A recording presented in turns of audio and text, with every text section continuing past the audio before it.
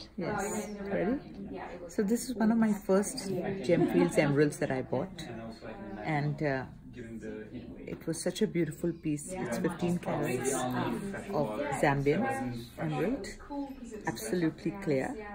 So I decided that I'd do something unusual with it, which is why I played one design on top of the other design so that you know there was uh, there was not that one monotonous one single design going through so it was a very difficult thing. Yeah.